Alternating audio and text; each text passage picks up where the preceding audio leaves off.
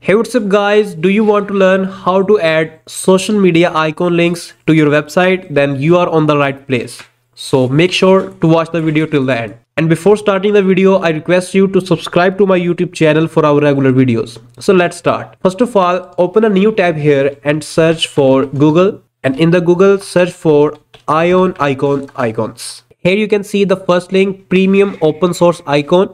The website name is ionic.io. Just click on this link and here you can see that these icons are available and you can use them in your HTML and CSS. So before using them, first of all, we need to add their CDN to our website. To add the CDN, click on this usage option and from here, just scroll up and inside this installation option, you have to copy these two script elements just copy them. And here you can see that I have a simple HTML file and I will create a basic HTML structure here.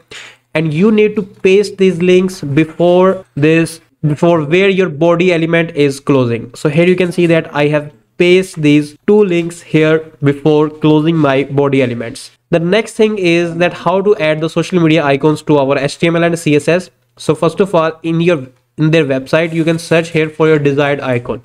Suppose if i will search here for youtube here you can see that we have an icon available for youtube. Just click on this icon and in the bottom you have to click on this ion icon element. When you will click on this this code will automatically will be copied.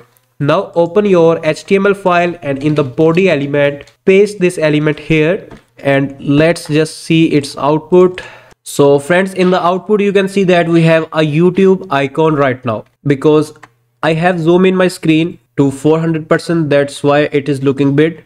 But by default our youtube icon have this size. The next thing to learn is now we want when user will click on this icon we want to take our user on the next page or on our youtube channel. So first of all i will open youtube and search here for our youtube channel which is CubixSol. From here you can copy the link of your youtube channel. Copy this by pressing ctrl c and create an a element here inside your body element. And in this href attribute you have to paste this link and make sure to cut this closing a element from here and paste this here. Our icon code will be in the middle of this opening and closing element. So friend now you can see that our icon have become clickable and when i will click on this youtube icon it will open our youtube channel. So friend this was the way that how you can add icons to your html and css and how we can move our user to our social media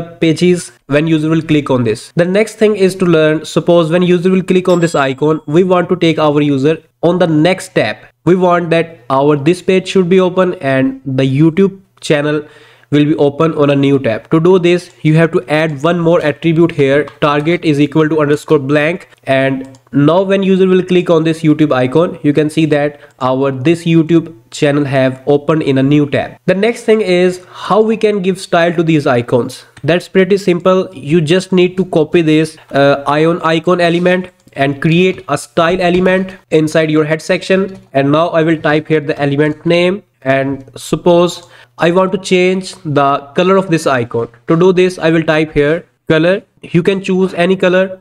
So here you can see that the color of our icon is changed. And if you want to increase or decrease its font size, you can use CSS font size property. Like I will type here 24 pixel. So you can see that its size is increased. And if I will type here 124 pixel, you will see we have a bigger icon and you will not see its resolution is not decreasing. So you can increase its font as much as you want. The next thing is if you want to add a space between icons suppose we have two icons in our website. So first of all i will type here open the website and from here I need to search for TikTok, copy this I element, paste here. Now you can see that we have two icons. So if I want to create a space between these two icons, we need to add here one CSS property, which is margin 10 pixel or you can type here 40 pixel. So you can see that a margin have created between our these two icons. So friends, I hope you must enjoyed this video. If you have any question, you can ask us in the comment section. We will try to answer your question. And please subscribe to our YouTube channel for our regular videos. And finally, thanks for watching.